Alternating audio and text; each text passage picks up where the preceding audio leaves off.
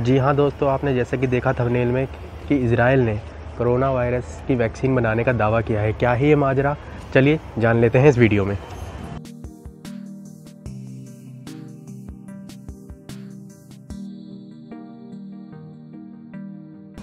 महामारी बन चुके कोरोना वायरस ने पूरी दुनिया में कहर बरपा रखा है। विश्व स्वास्थ्य संगठन डब्ल्यू ने नोवल कोरोना वायरस को महामारी घोषित किया है। इस महामारी से कई लोगों की जान जा चुकी है। तो वहीं कई लोग इस वायरस की चपेट में आने के बाद अभी भी जूझ रहे हैं। इस डर के बीच लोगों के लिए कोरोना वायरस को लेकर एक राहत देने वाली खबर सामने आ रही है।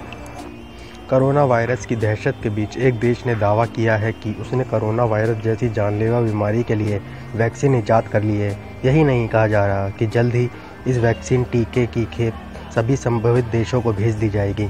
बताया जा रहा है कि इसराइल के इंस्टीट्यूट फॉर बायोलॉजिकल रिसर्च के वैज्ञानिकों ने इस खतरनाक बीमारी का तोड़ निकाल लिया है। इंस्टीट्यूट ऑफ़ वैज्ञानिकों ने दावा किया है कि कोरोना वायरस, कोविड 19 के टीके बनाए जा चुके हैं और उन्हें जल्द ही आधिकारिक मान्यता भी मिल जाएगी। वहीं इसराइल के रक्षा मंत्री नेफटाली बेनेट का कहना है कि हमारे वैज्ञानिकों ने कोरोना वायरस के ऊपर शोध करके वायरस के नेचर को समझा। साथ ही कोरोना वायरस के जैविक तंत्र बायोलॉजिकल सिस्टम के बारे में भी बारीकी से अध्ययन कर उसकी पहचान करने में सफलता हासिल की है।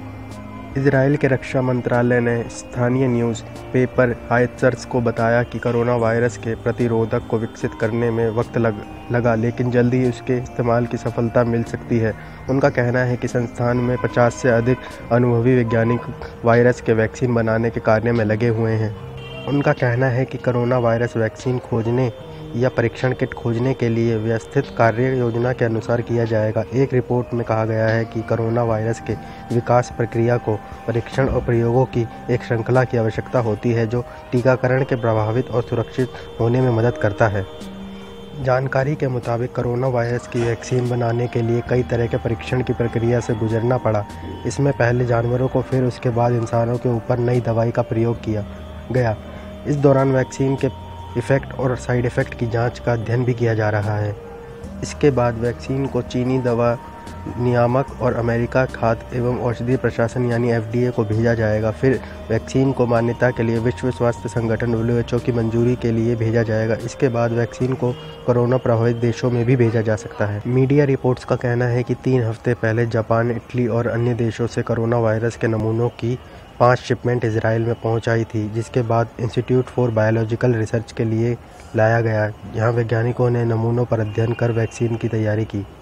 अगर आपको जानकारी अच्छी लगी हो तो वीडियो को लाइक ज़रूर करें।